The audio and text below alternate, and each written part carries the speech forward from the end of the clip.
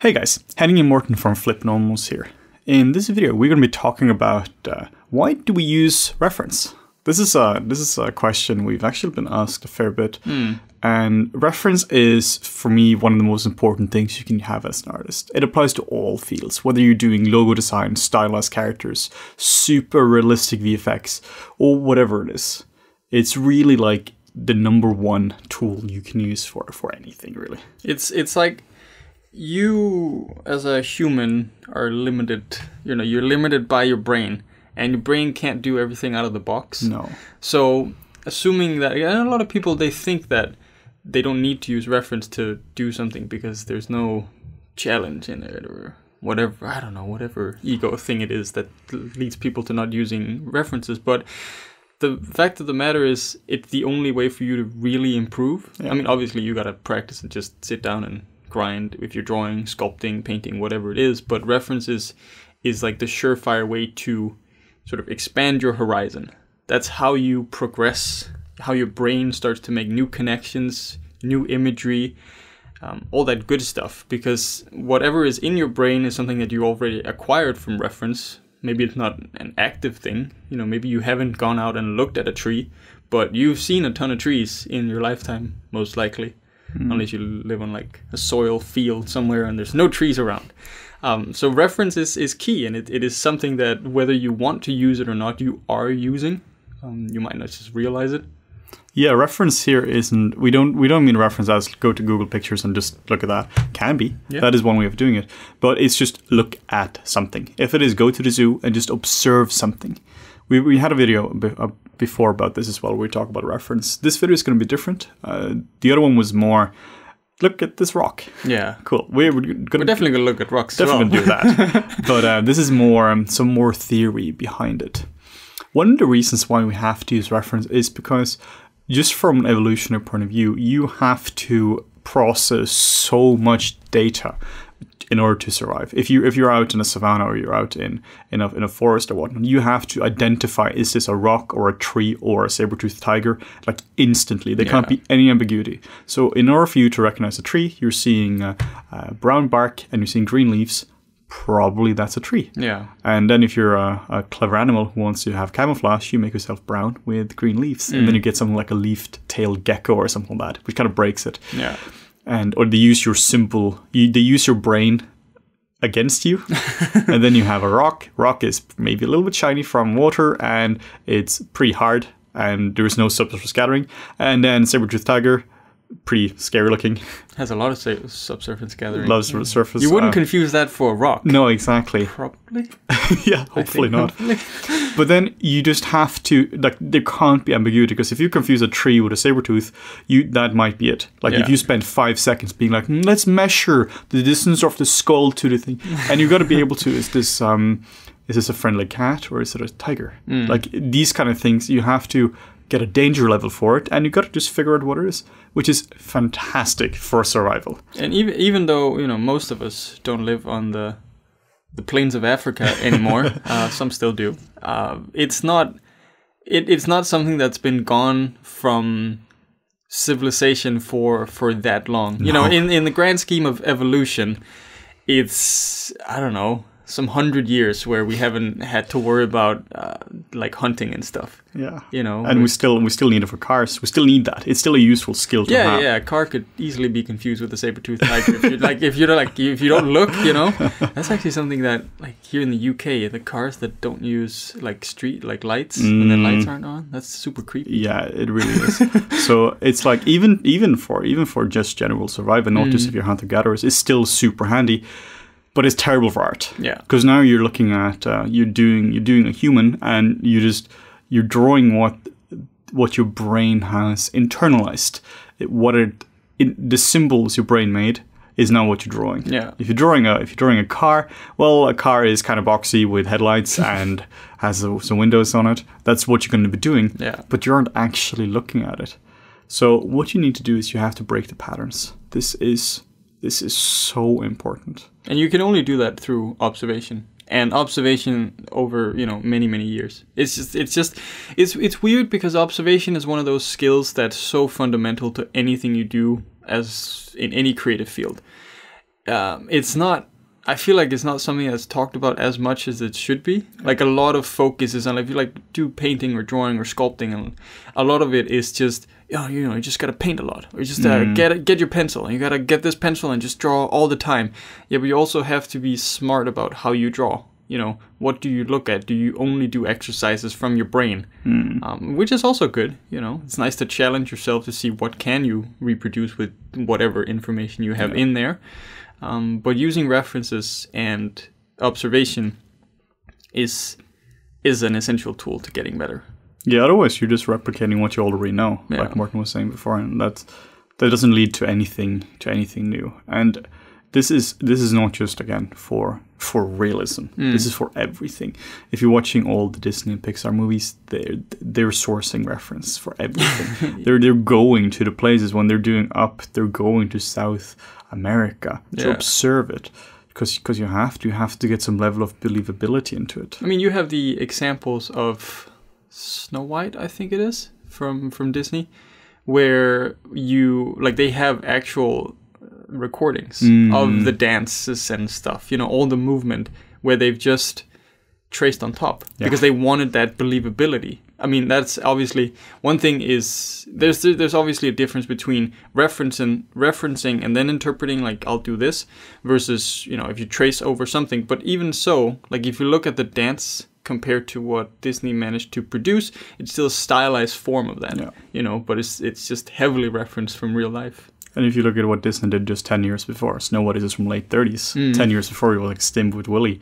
And they, they they improved their quality like by so much. It's it, it doesn't even look like 10 years. There was like um you know there was like that new League of Legends uh, music video that came Oh, out. That's the best thing ever. It's so it's like it's I don't know. It's been out for a few days. It's got like 50 million views or something. Well deserved. Half as me. well deserved. It's like it's a super catchy song. Like they really they really nailed that. The art style is awesome. Um, but my point with that is if you look at the animation, most of that is motion capture. You know, it's not obviously okay. I'm gonna assume it's motion capture. Yeah. Like if there's anyone, if there's an animator out there who actually worked on it, like no, we didn't use motion capture. Like okay, good on you. But it most likely looks like motion capture, right? Because you get that subtlety um, in the movement that it's really hard to replicate, and it just it takes it would take a lot longer to replicate that Yeah. by just doing keyframe animation versus starting from a pretty solid motion capture. And that as well is also the choreography for that is also based on real world reference. Yeah, they yeah, had yeah. all that, which I might might have watched a few times as well. you know they have actual dancers. Yeah. So yeah, you would never do that without that. But that's that's what I feel a lot of people do when they're doing CG. They they forget that the real world exists. Yeah. There's something we talk about in some of our other videos as well. Like if you if you're gonna do uh, a sexy dance thing and uh, you're an animation student, you might just start blocking some stuff out here.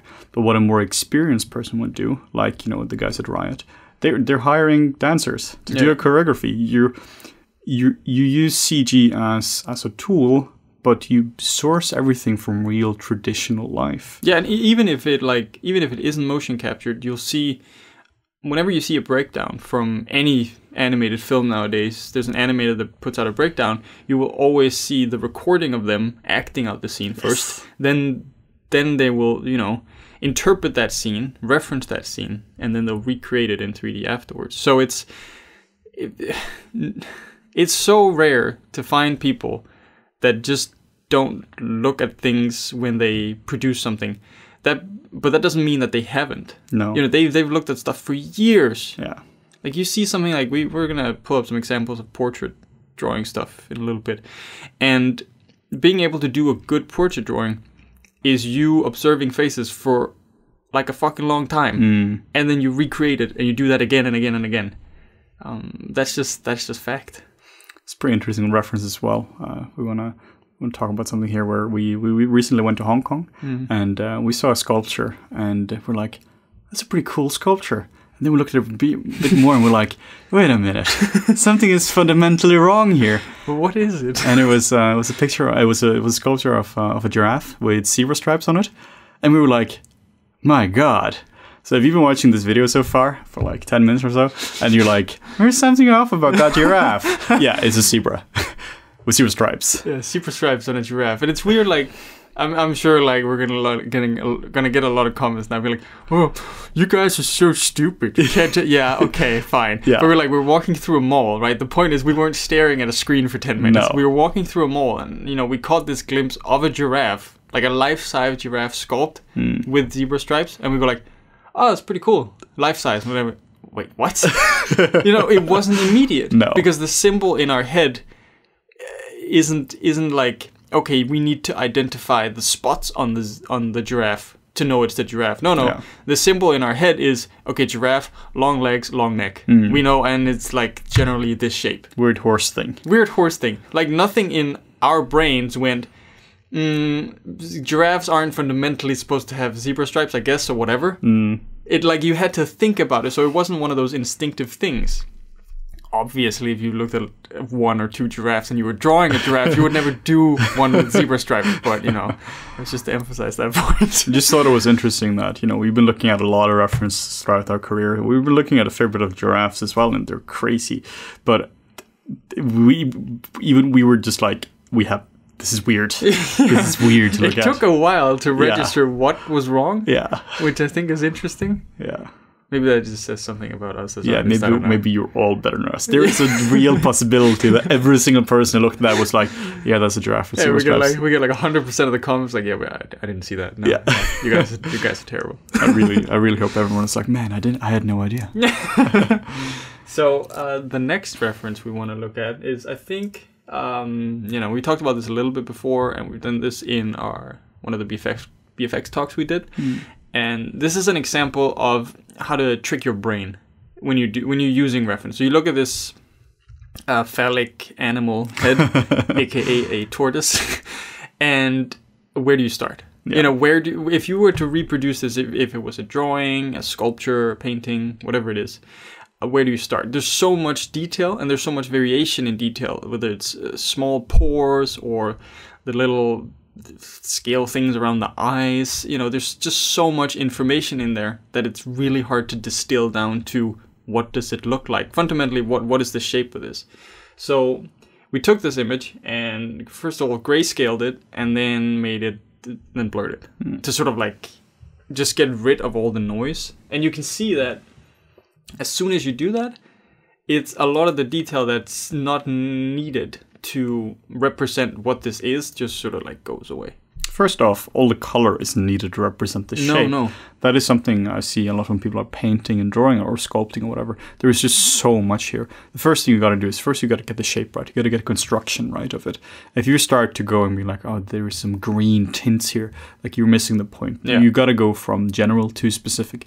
So if you're sculpting this specifically, then you you should just first blur it even more than this, and then just get the main shapes right. Like first, just get the overall silhouette right, and then work your way down. Blur it less and less. One thing that's super nice about this blur technique is that you can even like just if you don't blur the pictures, you know, squint your eyes, like really, because then you sort of limit how much Yeah. light comes in, and you can like you can distill it even further.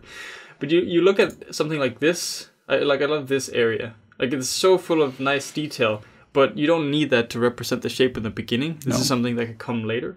But by blurring it and making it black and white, we just get this indication of a shape. Yeah. We go like, oh, okay, we can distill that down to this now instead of this, where it's like blah blah blah blah blah.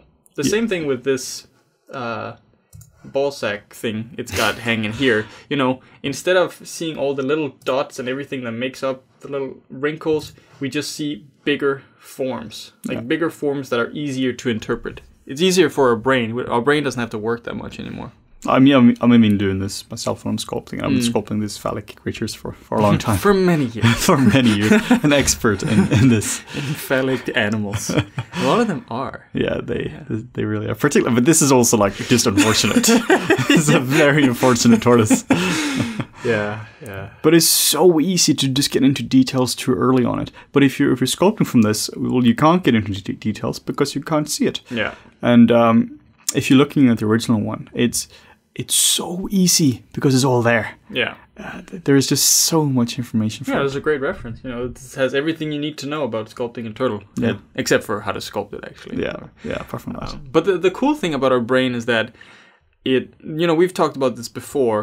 in terms of Henning and and myself, like our language learning. Mm. You know, doing Chinese and Japanese, and so many of those things we've sort of by accident, whenever we do these videos, discovered that so many of them are related. Whether you're doing language learning or you're doing something creative or um, like maybe painting a drawing or maybe you're learning programming or whatever it is so there's so many things that share uh, a similar what do you call it like it's a similar structure for how to learn Yeah. and one thing I remember we talked about with uh, Matt from Matt versus Japan about is like that whole dictionary entry thing. And so whenever if this let's pretend this is the first time you ever see this turtle, tortoise, Tortoise. whatever. What what's the difference? Uh, a turtle lives in. Uh, uh, a tortoise is on land. A tur- turtle is in the ocean. ah, okay, observation. Mm, there more you know. so let's pretend this is the first time you see this tortoise or any tortoise, Mm. right? Any kind of this animal. Okay. So there's one entry now in your little dictionary in your brain. So it's the first time you see it. You go you go away and then someone tells you like a month later to reproduce it. You're you'll be clueless. You'll be like, I was probably like penis shaped. Yeah, kind That's of kind of phallic. that's that's about what you remember. You observe it again, maybe it's a different tortoise, but it's kind of similar. And the more you start to observe it, the more you start to notice. Then you're like, oh, okay, there's like these little bumps around the eyes. Ah, Okay, there's a little scratch there. Maybe it does something. I don't know. Okay, there's a lot of wrinkles here. Ah, there's a wrinkles that goes across this way. Ah, you see like some compression because it's chewing and stuff. So you, all these things that start to pop out to you, the more and more you start to look at it. we were talking about this before recording now how like how there's so much variation between people like you could sculpt you can sculpt humans for a lifetime and you would just learn different things between because there's so much variation between the different people. Yeah. but you could also sculpt the same person for an entire lifetime and you would see new things every single time. You would Yeah. get if you were to sculpt the same person like the first time you're doing it you would just do some general human kind of maybe some likeness. But the hundredth time you would get all the little subtleties right 'Cause you, then then getting the proportion is easy. Then you've done that for a long time but then afterwards you can focus on little on small little plane changes plane changes become smaller and smaller and smaller in your brain to the point where you get obsessed with like the caruncula of the eye and like these small little details which Yeah. are so important I remember years ago. When was this? Maybe six or seven years ago. I I wanted to do a sculpture of um, a character from Mass Effect. Oh, I can't remember his name. It's the assassin dude who's like uh, it's like got these oh big from Mass Effect 2 yeah, yeah, with Yeah, I the black eyes, and he's got like that disease. Spoilers. Um, he dies, and uh, I, I, rem- I like, because I've been thinking back to that when I was sort of like analyzing footage from Blur, and because they made an awesome model of that for like uh, for an, for a cinematic, and looking at the game model, looking at the Uh, 2D concept art that that came out, and the way I was trying to replicate it was from the from the details and then out. You know, so I, I would. It was like it was the classic sort of like okay, I, I don't know what I'm doing. This is all that I notice, and and a lot of the stuff that you notice when when you're starting out is all these fine little wrinkles. Like that, that that's that's what's easy to perceive because there's a lot of contrast in there. What you fail to perceive most of the time are the big shapes, you know, those kinds of shapes. And I had the same issue looking at this eye. It's kind of like very reminiscent of uh, of the assassin dude there. And I would start like basically my sculpt would start out with trying to like sculpt in Damien Standard all this stuff before anything was really anything was really there. That's just because I hadn't observed enough. when I was starting out with sculpting as well, I had the same thing where I would uh, watch tutorials and uh, we, we basically exactly what we're doing now in our tutorials where I'd be like, damn it, just stop worrying about the silhouette, just get to the damn details right away. yeah, exactly. Because who cares about the de- the silhouette? because the silhouette is so boring to get right. What you because it doesn't really add like the it doesn't really add a realistic silhouette. It doesn't really add like this tiny speck or it doesn't add a realism to it.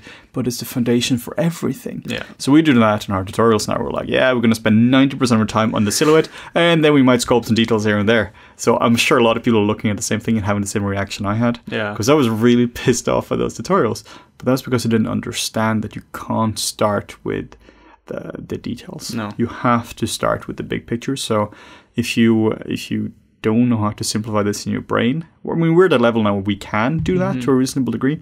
But if you can't, just just blur it. You see someone like uh, like Simon Lee sculpture. Mm, um, so good.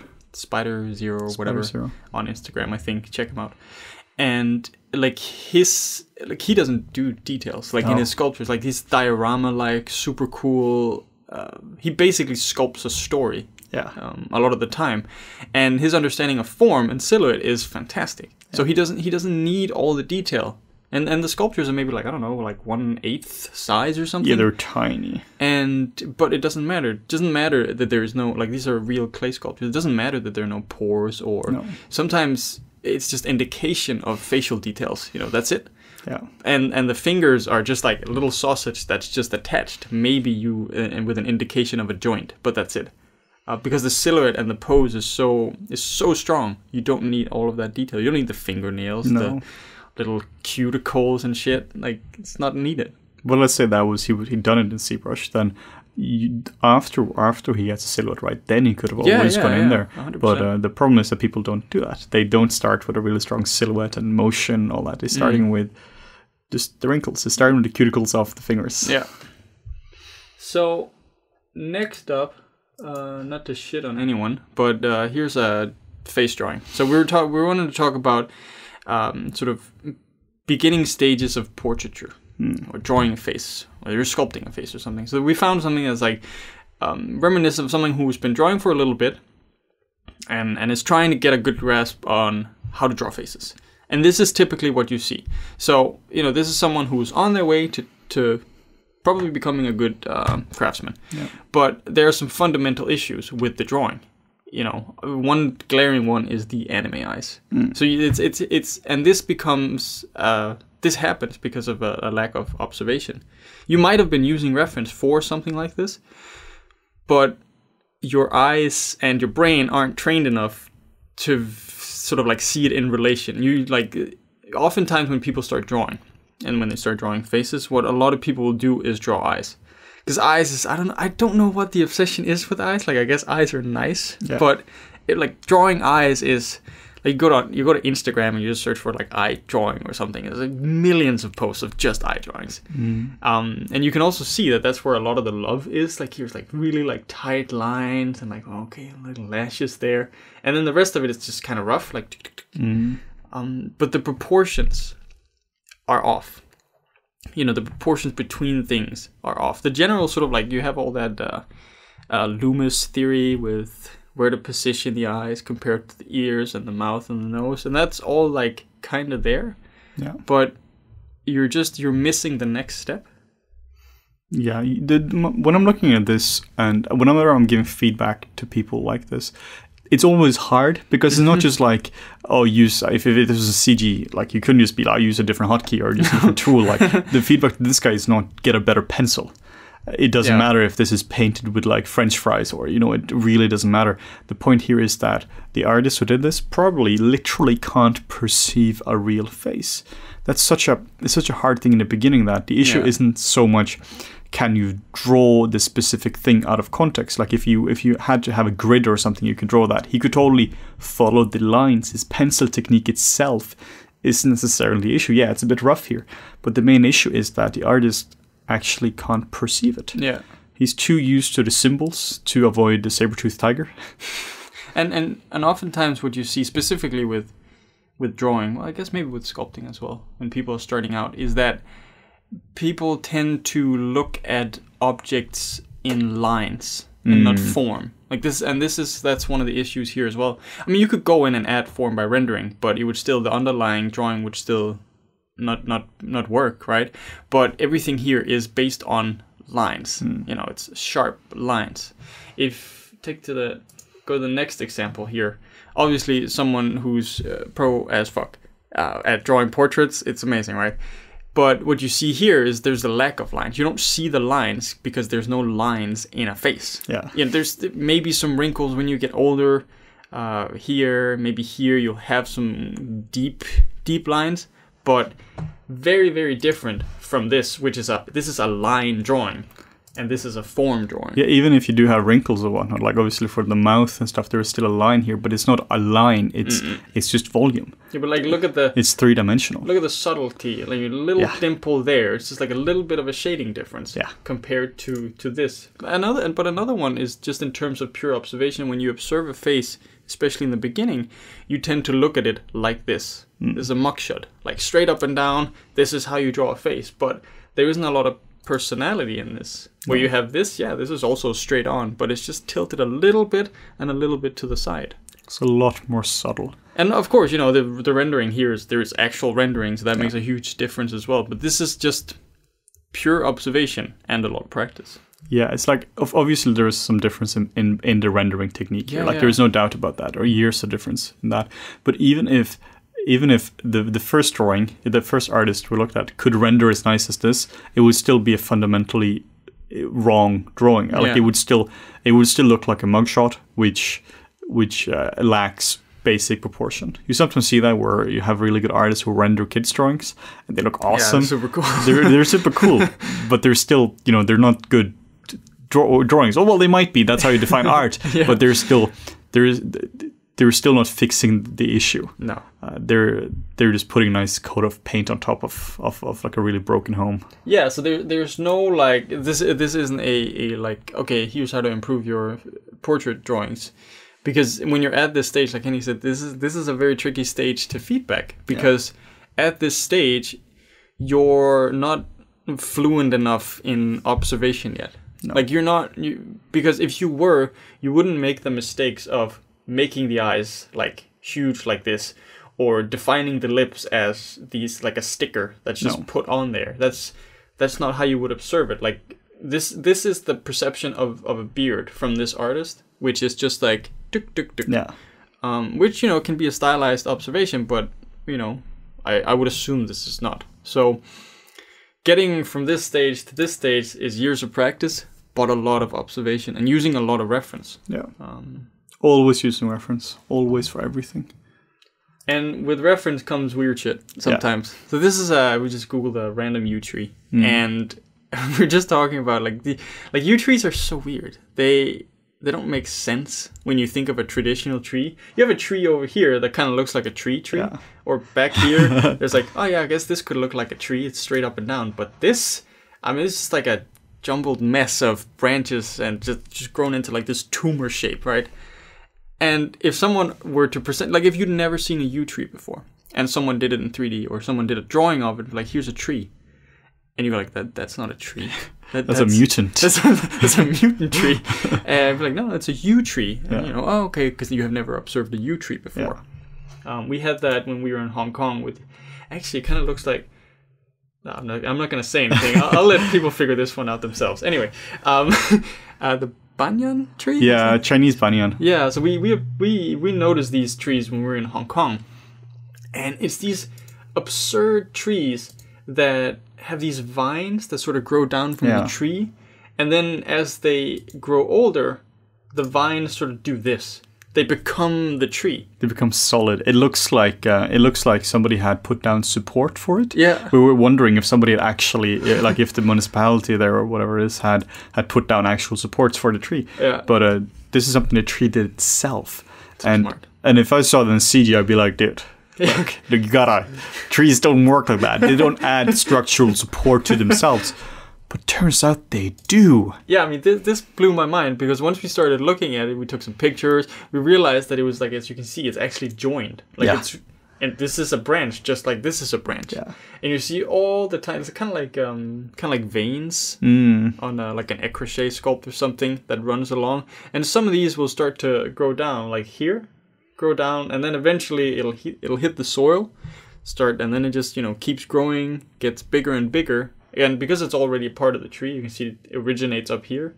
Then it just sort of like it's already fused together and just becomes another branch in the tree. So the reason we're showing this is not because we want to just geek out over the cool trees we saw, although that was pretty cool as well. But it's more because if you, I see this so often, you have people doing environments and they just Google tree, or they just they don't even yeah. Google, they just do some Caesar stuff and they're just blocking out a tree, and uh, it looks okay. Maybe it maybe it works, and then they go to cgtextures.com and they go in Bark, and uh, they apply a tileable onto the tree, and they're super happy with the work. And you can probably get up to like 50, 60% that way. But if you if you gotta take it to 100%, you need to observe real world reference. Yeah. There is just no other way to do that. Like just just the frequency of details here. This is the same as figure sculpting. It's high, mid, and low. Yeah. You have everything. You have nice, nice tertiary details. You have mid frequency. You have everything. Yeah, like look at I mean there's some like you've got the nice silhouette, big branches, and you've got all this little stuff in between. Yeah. Little tiny growths that just go up and down. It's such a fascinating tree. Structural support by nature. How nature? oh, nature. Then we saw this. Now this is a mind fuck. Okay, so I'll just uh, I'll let you look at it for a little bit and uh, pause the video and tell me what you see because uh, what this is, I like I don't know how this works. Like someone tell me how this works. I don't want to Google it because I almost don't want to ruin the mystery. But uh, this was in the what was the garden called in Hong Kong? There was like a temple. Yeah, it's a car. It was a, it's a temple with a garden. Yeah, there was, there was a temple with a garden. Beautiful place in Hong Kong. Yeah. Can't remember the name. Uh, this part up here is uh, wood. We knocked on it. It's it's wood. This part down here is rock. Like it is legit stone, and it's fused together. And this isn't some tree that's grown around a rock. Like you can see the bark here, how it transitions into stone. Like I, We have no idea. I like I legit have no I just we just wanted to share this with you Because it's just thought it was super cool. like look this is down and you can see here you can see traces of bark but Yeah. this is solidified. Like this is petrified I guess it's called. This is rock. Um I touched it. Yeah. I wanted to make sure. No This- touching, but this Morten down here it. is also rock. And then you know it turns to, to stone. And then you have parts of it that is stone. I don't know how you how you s- like petrify uh, a tree but not petrify all of it. Like i could in, like if it's in the ground for I have like no idea. but anyway, in terms of observation, this is a really cool thing, right? Because if you like if you didn't use reference, like I swear if I if I hadn't seen this, one thing is a yew tree that kind of looks like a mutant tree, but this hmm. just doesn't make logical sense. No. You're like, yeah, I made a tree that's also a rock. Like, Yeah. okay, you need to reassess reality. I think Yeah, it doesn't work like that. this is crazy. Like how you can have something in nature that is clear, like, does this float? Yeah. I don't know, like, because uh, like most trees float, but most rocks don't. you know, it's just like I have so many questions. questions. has questions, damn it. Um, but just from a pure observation point of view, there's so much going on in here, Yeah. and there's so much delicious detail. And this is something you can use for for so many different things. There isn't really a frequency here. Like it's very hard to see how big this here is. Yeah. If this if this here would be like a huge Chinese mountain, or if this is like a tiny rock, it's very hard to actually see. So let's say you were doing some kind of like crystal cave. You could totally use this here as reference. Or if you're doing like a undersea cave or whatever it is, uh, it- you you can get reference from very interesting places sometimes. Yeah. So I would, I would, I would sometimes do this. Go to these weird places, look at this weird stuff, just to get truly unexpected things. Because if you go to Google and you Google rock, you get something boring. But this is not boring. This is yeah, and like like so if I'd never experienced this myself, I, I've seen a picture of it. I would probably have experienced it. But Hmm. like if I was never made aware that this could exist in nature, like the next time I would want to make like a cool fantasy environment or something that's like a little special. Like Henning says, a crystal cave and there's some organic stuff. Like oh yeah, let's make a wood thing that's also rock. Hmm. You know, you don't think about that's another entry in my brain that now allows for that to happen. yeah, So I think that's pretty cool. Um, cool leave too. your comments down below. Whatever you want to comment on this because this is fantastic. yeah. I'm sure there's some basic scientific explanation. Yeah, it's just petrified and it's been there for a long time. Yeah, I oh, like, oh, "Ah, cool. that was like we were like, how do whales drink? Yeah, we have some stupid questions. Or questions. was it like how do how do whales eat but not drink? yeah. I g- but I, Yeah, we had, we had two questions. How do whales drink? Because they're in the water and there is salt water. But also, how do they eat? because they're mammals, so they don't breathe on the water. Yeah, and how do they eat Without get- drinking. Without drinking at the same time, and we don't want to know. Yeah, exactly. Exactly. So we're not going to read the comments for this video. um, here's another crazy tree from the same garden. Um, this is, I mean, this is one of those. Uh, the next picture as well is going to kind of show this kind of this substance fractal. Yeah, Like if someone showed me this as a substance thing, I'm like, oh yeah, yeah, it just doesn't look like a tree at all. you abuse the oil texture and um, now the oil procedural, and then you just add some random cloud color to it, and then you color a day. You need to do better than that. But this, is crazy. It's crazy what nature can produce. Like th- again, this is a very atypical tree. You wouldn't well, at least I wouldn't think to do a tree like this. Like No. you, usually when you think of a tree, right, you think uh, this Yeah. bark that goes straight up and down. Yeah. This goes horizontal. This and then a little so bit swirly. of swirly and like it actually kind of it actually kind of twists around the tree. Yeah. So it's just it's a very interesting tree to me. I love looking at trees. Yeah. And then another one, rocks. Rocks. Uh, so this, I guess, the other one was kind of like a pseudo rock. Uh, this is the first real rock. Walk. The first real rock. That's really hard to say. Mm. Um, and the, these rocks kind of blew our minds a little bit because it kind of looked like someone put a bad shader in 3D on them because they're Yeah. so shiny, and also because the structure is so weird. You know what? It's when you think of a traditional rock, you don't think of something that has been eroded away within the rock itself. No. it's always like, well, I guess you know, people have this. Yeah, this is a rock. You hmm. know, it kind of looks rock-like. This doesn't look rock-like. This looks almost like a fluid that's then solidified or something. It's so absurd. We we saw some in there was like a was called a rock garden as well, which was hmm. inside, and they had some rocks there which they legit didn't look real. Like if they were missing a they were missing a mid frequency and high frequency parts. It looks like if you took uh, a super nice rock in in ZBrush, you hit ZRemesher, and now you applied like a like a cloud texture on it, and you and they could call it a day. yeah, But it was real. rock made. That's why you know if if, if I were to do that in 3D, I would still not do that Yeah, because it just still doesn't look real. yeah, exactly. but it, but it just shows how reality can sometimes not look real. It's like when you observe clouds sometimes. Mm. I've had that before where I just go, man, nature is shitty at rendering today. You know, sometimes you look at the sky and it looks like a sky dome from, you know, any game. Maybe from- it is. Shit. you just look up and there's no volume to the clouds. Yeah. They they legitimately just look like they're just plastered on top of a, of a sky dome. like Toy Story clouds. From, Yeah, from- from, the room there. Oh no, is this like some flat Earth theory stuff? Oh, there might be, yeah. I don't know. Whatever. Um, that just happens sometimes, and then other times you have clouds that are just volumetric and just span several kilometers up Yeah. in the sky, and you're like, wow, that looks really 3D. But that's all the stuff you would get through observation. Obviously, if you were to make the clouds that look shitty in real life, they're also going to look shitty in Yeah. 3D. Yeah. So don't do that. You got to be careful what you source from as well. Like I said, like the rocks we saw in the rock garden, I wouldn't actually use No, them for anything because they're Just because they exist, don't mean that they'll they're, they look good. no, not at all. So I think that's one of the key things about observation as well. Like you have to be able to filter, Yeah. um, and that's also tricky because like in the beginning, it's it's really hard to figure out what is good reference and what is bad reference.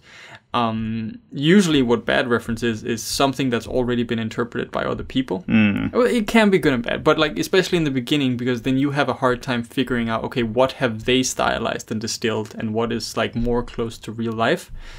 Um, if you're just observing from real life, then at least you'll have the ability to decide, okay, what do I want to stylize and what do I want to simplify? If you're not going for like 100% realism, that is, for example. So some examples of that is uh, examples of bad reference. Well, not bad, but not ideal. Is uh, is a Renaissance sculpture because that's heavily interpreted by another artist. Yeah. Well, an example of a good good reference there is a 3D scan because that's just objective reality for it.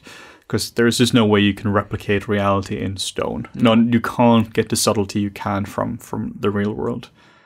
So, So, you know, with the and but of course, like the Renaissance sculptures are amazing and beautiful. good. They're like i none of us alive could do anything like that now uh, in marble. But the problem with having already pre-interpreted reference, whether it's drawing, painting, sculpting, sculptures, whatever, is that someone has already distilled information Yeah. and removed a lot of the noise. Um, maybe you wanted some of that noise. Maybe you wanted, you know, you see that a lot with like apps and stuff for the Renaissance kind of sculptures, maybe like the Roman sculptures as well, Greek stuff, is that it's very stylized. Very- very Sometimes stylized. it doesn't even look doesn't even look real, but No. you you still understand that it's based on real life because you can see where it comes from. But that doesn't mean that it's a, a stylization that you necessarily want. No. Now, master studies is still super useful. They absolutely are, but um, but just use different sources of that. Yeah. A specific example where I would I would use for let's say we have a character. Let's say you have like a orc character, Lord of Ring style. One of the little guys there. They have they have armor on and they have they have the orcs, the orc faces there. I would use reference for a lot, a lot of different ways. There. I would use for all the armor, get real world equivalent of it. Even if it's like, even if it's exaggerated, you know, you can still find real world reference for all that. Yeah. For every single piece, find that. For like the character, you would find like maybe a it's like a, a bat nose for the for him, bat ears for the ears, uh, maybe dog no dog eyes for the eyes, and just you would just source every single piece from somewhere. Doesn't mean you have to adhere 100% to it. It just means use it as a starting point, just to get the level the level of belie- believability into it. Yeah. So I think um, that about covers it again for another round of observation. um, we have Yeah. two other videos on observation X as well. Um, we have the first, which is specifically on observation and uh, rocks, mostly. Uh, we have a VFX talk uh, where we also talk about observation. And now this one. It is an important subject that I think tends to get overlooked, which is why we want to cover it, but we'll try to cover it from different angles every Yeah. time um, to give you something new to, to work with.